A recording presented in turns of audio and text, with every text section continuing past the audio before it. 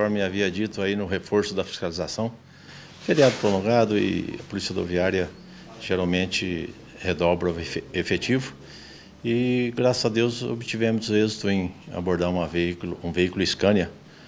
É, o condutor, após a entrevista, caiu em contradição e foram os colegas fazer uma revista minuciosa na cabina, encontrou indícios de que ele estaria usando é, droga e após esse fato foi feito uma, um levantamento melhor e embaixo do, do banco do sofá-cama, da cabine do motorista, foi encontrado uh, umas caixas contendo 23 tabetes e no total deu 24 quilos e 200 gramas.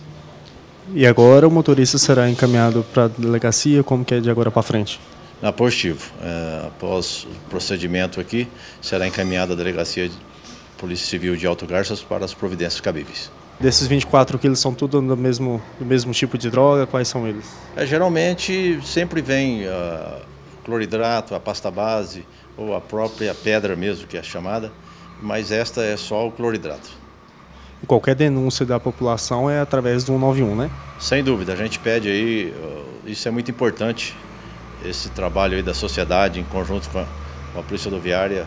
Tem um alguma atitude suspeita, algum sinistro, ligue o 91 que a, a nossa central irá nos acionar, a viatura mais próxima para que seja abordado o veículo, que tenha algum suspeita de estar dirigindo embriagado, colocando em risco a vida do usuário.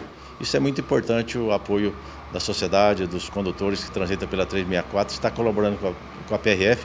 O, o trabalho, o êxito, sem dúvida, é bem maior.